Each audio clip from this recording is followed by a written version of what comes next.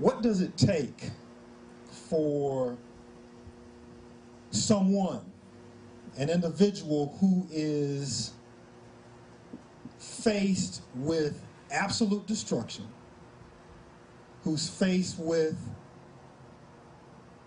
total annihilation as an individual to confront insanity? What does it take for two such individuals to come together to form one unit where they both individually are assaulted and as a couple or complementary pair will be assaulted even more to decide to come together to confront insanity.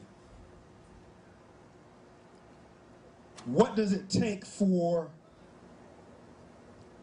these two individuals knowing what's out there, knowing what awaits anything that they produce to procreate, to bring a child into this insanity? What does that take? I would argue that it takes a warrior spirit. I would argue that it would take these individuals clearly understanding that they are their ancestors and a strong desire to be African. I was brought up to believe that a man is someone who can stand. Whether you got 40,000 people behind you or zero, and that 40,000 people is in front of you. I was raised to believe that a man is supposed to stand on his own two feet. No matter what anybody says or does, if he knows that he is correct. I believe the same thing applies to women. And I think our history bears that out. So tonight, this evening, I want to talk about a number of things having to do with that couple who has come together, or men and women who are thinking about forming a couple and what they will have to deal with. And part of this discussion will focus on differences between complementarity between Europeans and Africans. And I use this word complementarity very necessarily. We operate as Africans under a collection of principles that were given to us by the goddess Ma'at. Ma'at was the goddess of truth, justice, order, balance, righteousness, reciprocity, and a whole collection of other things in the pantheon of European, excuse me, of African gods and goddesses.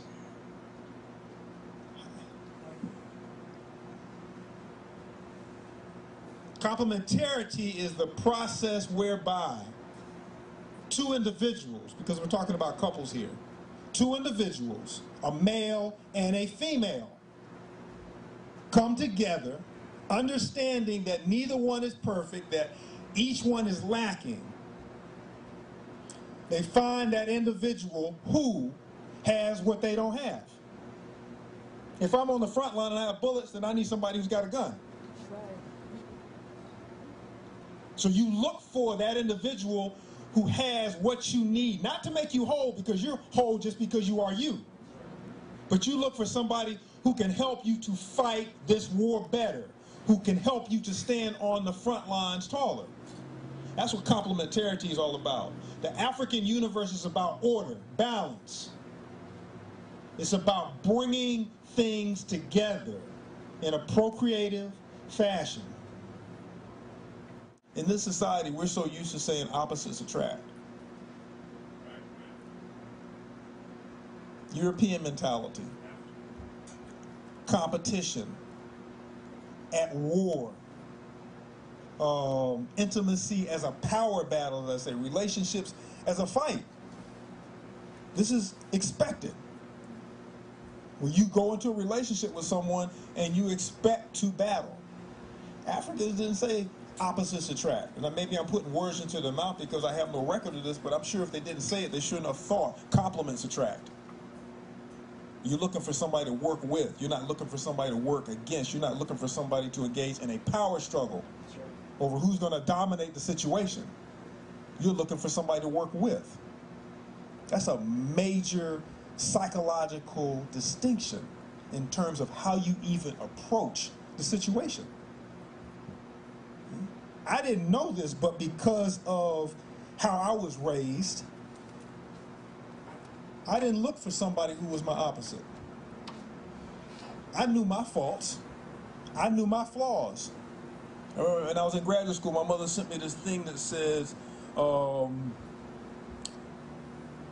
I forgot what it said now, but it says something equivalent to um, being stupid is when you don't know what your faults are. And I knew what my faults were. And this woman studied me just like I studied her. And we found that most of what I didn't have, she had. And most of what she didn't have, I had. So we made a good complement or complementary pair. Sad that we don't do too much of that anymore. People get married before they find out that this person wants six children and they only want one. But if this person is a Baptist and this other person is Buddhist, or somebody wants to live in D.C. and somebody else wants to live in Atlanta. For African people, the marital institution was sacred. This is something that was mind boggling to me when I was coming up as I begin to see more and more people getting divorced. How can you sit up and make a promise to the Creator? That's what you do when you get married. You swear oath, you make a promise to the Creator. I will love and cherish this person until they die. I swear to you and then move to a point where that can't work anymore. This, and I, I, I get off track when I get to this point. because the things that we break up over, not even talking about the things that we didn't check out before we got together, which should have told us something. But the things that we break up over, in sociology, we had this concept called tremendous trifles. And tremendous trifles are little stupid things. And I do mean the word stupid. There's a difference between stupid and ignorant. Ignorance means you don't know. Stupid means you know and you do anyway. tremendous trifles are stupid. We have been raised, and we're raising even more so now as we spoil them more, people who are so self-centered that they can't take difficulty. They can't take being challenged. They can't take disagreement. So me being one of the children that we have raised, I'll go into the bathroom for the fourth time this week, and the cap is off the toothpaste again. I'm through. I'm gone. You can have it. Let's get it now. Tremendous trifle, stupidity. But you'll see people breaking up over the dumbest of things, and some getting married over even dumber things. If he's not African, you don't want him. If he's not European, excuse me, if she's not African, you don't want her. And the only evidence of that is if the person is doing the work. Then and now. I want to know only one question. I want to know, well, it's really it's two questions, but it's two in one. What is your vision?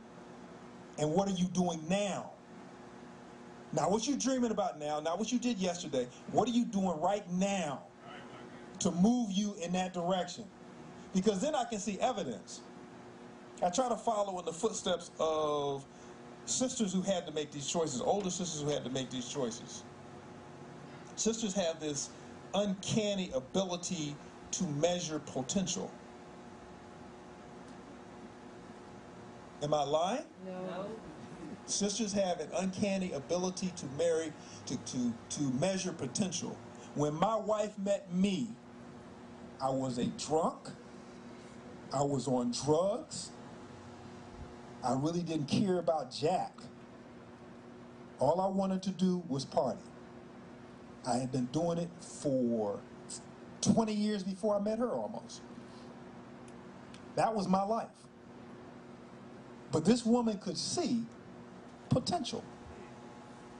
She saw that clearly, I guess like a, a diamond in the rough or some mess. She could see that. And she grabbed hold of it and she helped me to find my way out of that stupidity. But she was able to see that. I don't have that ability, so I'm assuming that it's a female characteristic because I've seen other women do it. So, sister, use that potential, use that ability. If he's not working, then keep right on going. That's we find each other at work. Falling in love in terms of the African tradition. Well, let's say the Euro- European tradition first. You fall in love. You see this person, you fall in love, right? Um, instant love. I fell in love in half a second. Yeah, just saw her face, just saw his face, and felt that little pitter patter, and lost my balance, and all the rest of that stuff. And I'm, I'm in love. You probably felt high blood pressure, but you thought it was love. In our tradition, and understand these are old, wise truths. This isn't just something that some African made up uh, 100 years ago. These are old, wise truths. Our proverbs come from hundreds of generations of experience. They come from the wisdom of a people. They're not a quote by one particular person. They are the wisdom of a people. You can't patent that. Africans invented all kinds of stuff. There weren't any, wasn't a system of patenting, not only because people could trust each other, but because everything belonged to everybody. Didn't make you into a non-individual. Made you better because your whole goal was to improve a people, not just your sorry, selfish self. You know that you are in love when you have been with somebody long enough to know, to know that that person will die for you. To know, absolutely, without question, to know that that person will die for you. That's when you know you're in love. It's when you get to the top of the mountain, not when you're at the base. When you get there, over that hard, long terrain, that rough terrain, where you find out that that person can't tolerate you.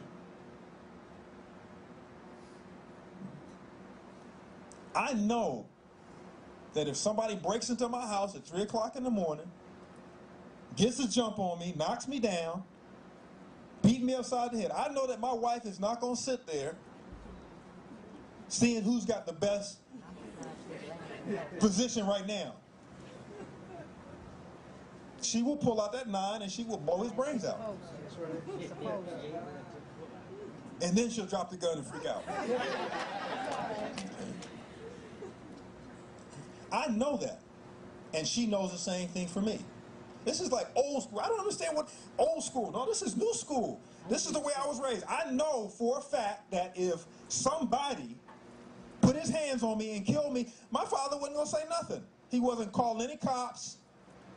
He understood his responsibility, and he understood that when he took on those responsibilities, they may send him to jail. I have watched my mother go off on people because she understood her responsibilities. The ramifications from them was irrelevant. I don't understand this old school distinction. And that's something that the boys at the school understood.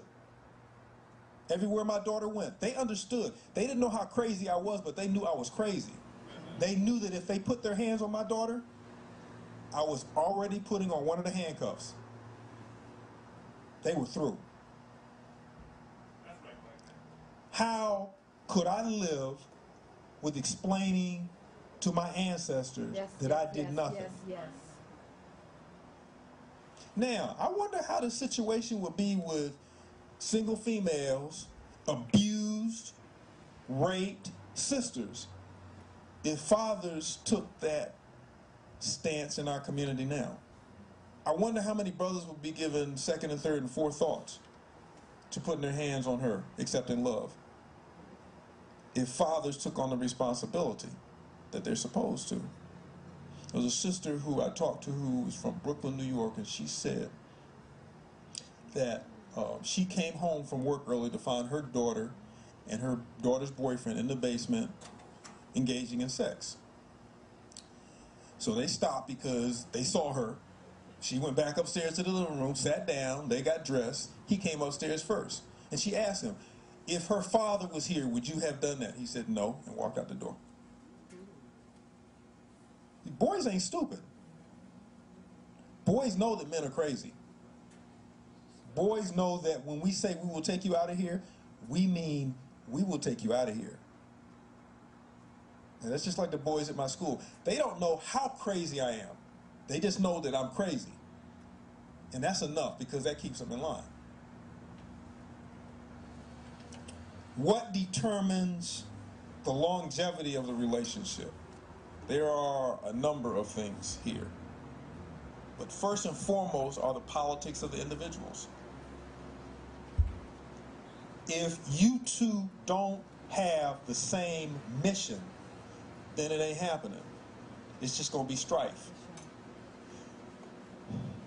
Every couple needs an umbrella mission, an umbrella philosophy, something that is greater than them. Something that no matter how many tremendous trifles occur, something that no matter what happens, they will still be together because this is more important. People used to ask, uh, yeah, and said, why, how, what allowed you all to stay together so long? I said, because first and foremost, African people were our priority. It was our priority before we met. I just don't think that I was that clear on it. She was clear on it. So that, no matter what happened, is going to keep it together. No matter how many times I get ticked off, get in the car, drive for four or five hours so I cool off. No matter how many times she gets ticked off, goes into a room, slams the door, turns on the television, sits there for four or five hours, we know that she's not going anywhere and neither am I. Because we are trying to do a revolution. And that can't stand in the way. So the politics aren't in agreement, then the relationship isn't going to last. That, that applies to whoever Negroes, lost souls, Euros, whatever. If the politics aren't on the same plane, then the relationship is not going to last. Politics have to be on accord. They have to be on accord. They determine the longevity of the relationship. You have to have the understanding. There also has to be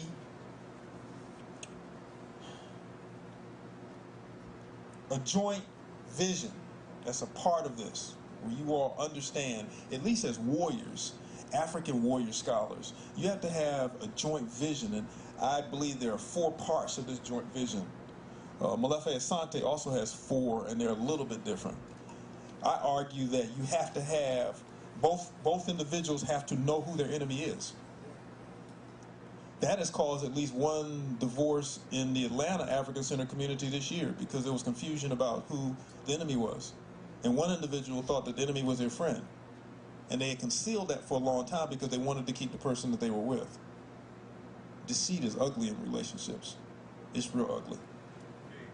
Secondly, they must believe in the rearing of African children. And I'm not putting these in any kind of particular order, but they must believe in the rearing of African children, not the raising of them, but the rearing of African children. Mari Evans made the distinction. She said raising African children means that you provide for their basic needs, their food, their clothes, their shelter, you get them to school and back home. Take them to soccer practice, get them to widescreen TV. Rearing African children means that you teach them who they are and about their power and what they need to be responsible to, along with the food and the shelter and the clothing and the widescreen TV. There's a major difference. We've had people tell us in raising our daughter, she understood what the Ma'afa was about, the Middle Passage slavery, by the time she hit the first grade. And she would tell me when I was giving her too much information. She understood that she could say, Dad, next year on this one. And she would do that. She understood that was okay because I understood that I was taking it too far or beyond her understanding. And that was cool.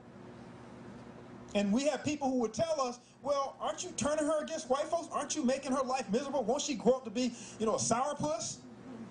As you have your children watching X-Men cartoons, you have uh, Bert and Ernie cutting, slicing, and dicing people. You got them going to the movies watching blood and sex, and that's better than this?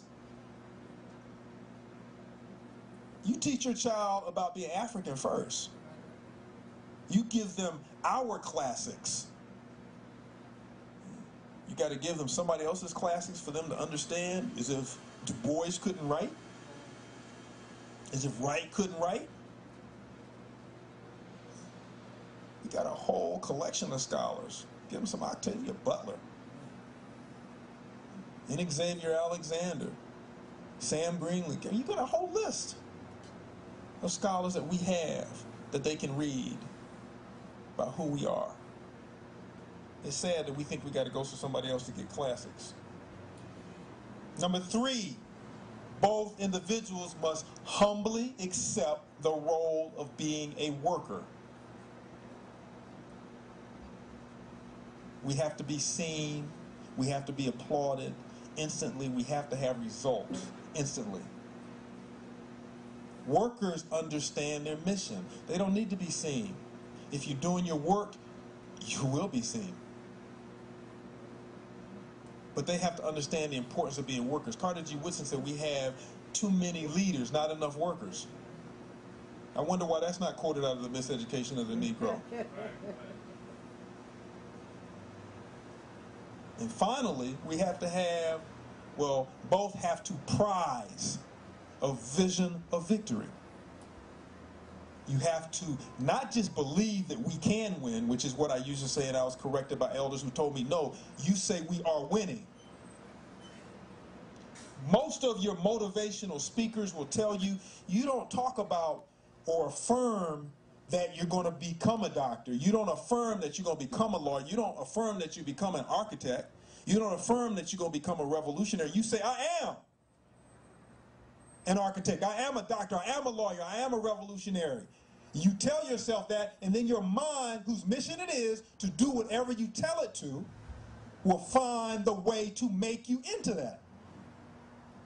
It will find the resource. It'll put you into the right books. It'll get you to the right people to be that. When you tell it what it is. This thing works for you. We act somehow that like this, we work for this. This works for you. It's a paid employee. You feed it every day. Your mind is supposed to do your work, your bidding. It works for you. It was given to you to do your work. So you tell it what you want. And it will find a way to get it to you in the time that it can. You can't always operate, it can't always operate on your schedule. Sometimes you're not ready for it. I have a sign behind my computer that says my ancestors gave me everything that I needed when I was ready. When I was ready. Not when I wanted it, because most of the time when I want it, I'm not ready for it. Just like a lot of brothers want polygamy, but they ain't ready. Mentally, financially, physically, spiritually, they're not ready. There's nothing wrong with that because that's part of our traditions, but most of us aren't ready. We're ready for maybe serial monogamy, more game playing, less boredom, but we're not ready for the responsibilities that come with that. I'm having a hard enough time handling one woman. Or should I say she's having a hard enough time handling me? Molefi Asante gives us another list of four things that the revolutionary couple must embody, must act on, must practice. He says sacrifice, inspiration, vision, and victory. You must come into the situation willing to sacrifice whatever you need to sacrifice for our people. That sacrifice at that higher level gives you that politics that's larger than you. So that little problems that you have seem insignificant. It's sort of like if you have uh, cut your foot on a piece of glass, and that's painful. And then somebody comes and blows your arm off. You start to focus on the missing arm, right? You forget all about the foot. Okay, so the cut on your foot is a tremendous trifle. The lost arm is the politics. Okay. The inspiration. The most important quality that my wife has for me and that I have for her is that we inspire each other. Not only by watching each other do the work, but also when we get into funks, because you get sick and tired of Negroes, you get sick and tired of body counts, you get sick and tired of seeing brothers and sisters being hauled off to jail, and sisters are being hauled off to jail at a faster rate than black males now. When you get tired of it, sometimes you get into, I don't know if the young folks are used to are familiar with this term. We back in the 70s and 60s, we say you get into a funk. You just don't feel like caring. Good thing for us, I usually get into a funk at a time that's different when she gets into a funk. So when she's in a funk, then I can say things and do things to bring her back into her African reality. And when I get into a funk, she can do and say things to me to bring me back into an African reality. We inspire each other. That's what we're supposed to do for each other. We're supposed to inspire each other. We have to have a vision, the third one. You have to have a vision. Um, Ayi Kwei Armah said that um, endless the day must seem to people who have no vision of the future, can't see past today. Yeah, that a vision that extends, in our tradition, seven generations. Everything that you do, you have to judge it based upon its impact on African people seven generations down the road. You may never see the results. You're fighting for people. And if our ancestors are correct, we go in cycles, which means you're going to be there then just like you were there before.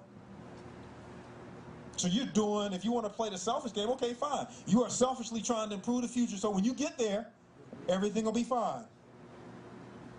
If we want to look at it that way. And finally, we have to have a victorious mentality, according to Baba Asante. We have to believe that we are already winning. We have to do whatever is necessary to do that.